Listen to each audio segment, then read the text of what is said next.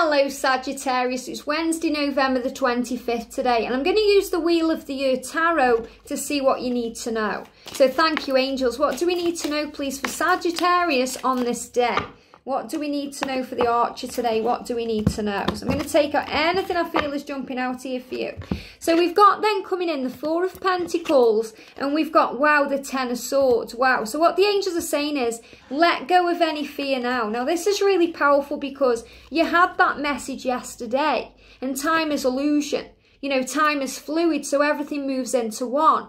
Maybe you weren't worried about time right now, you're worried about time running out you feel things speeding up, but you're not sure what's going on. So there may be some uncertainty there. Maybe you're releasing the past right now. You know, you can see there she's kind of putting flowers on a grave. So maybe releasing something, you're completing a chapter in your life. The angels are asking you to let go. I feel someone watching maybe going through some grief today. Maybe you've lost a loved one or you're going through some pain.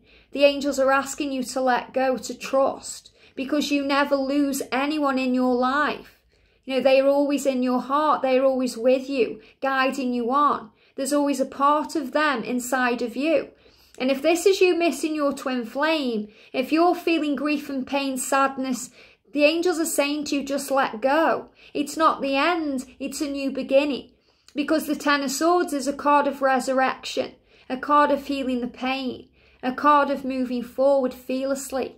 And all you have to do is let go. All you have to do is detach from the drama, detach from the pain, let go of the fear. Move forward fearlessly, knowing that you are safe.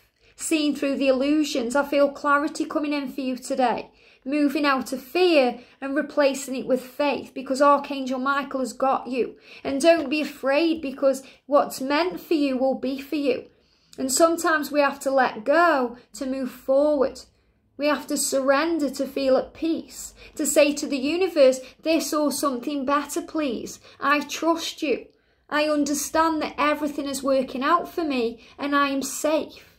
And the angels will help you to see, to be grateful, to see the good in your life, to see the bigger picture, to understand it from a different point of view. Maybe some of you are worrying about money right now. Maybe you've lost your job. You're changing your job. You're unsure about the future. It feels uncertain. But you've got this and you are safe. There's nothing to fear. You will have everything that you need in every moment. The resources will come, the money will come, and you will gain the stability that you need. So a big sign to let go. So this is a day to let go, to let go of any fear, to let go of anything that you're afraid of losing because you'll gain something else.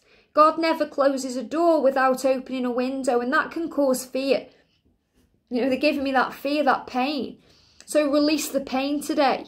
You are loved, you are safe. And I feel Archangel Azrael, the amazing angel that comforts and supports any grief in our life, any pain, any sadness.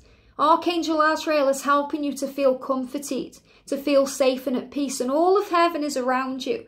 And I feel your loved ones, especially any loved ones that have just passed over recently or that you're connecting with right now are with you and they're asking you to let go, to let go of the pain. You know, they are safe. They don't feel pain anymore. They just feel pure love and they feel pure love for you and they don't want you to hurt. Your loved ones watching over you right now saying to you, let go of pain. You don't need to hurt. You know, I remember once years ago, you know, my dad's been passed now 20 years. And I remember years ago, you know, I was crying over a boy, you know how you do.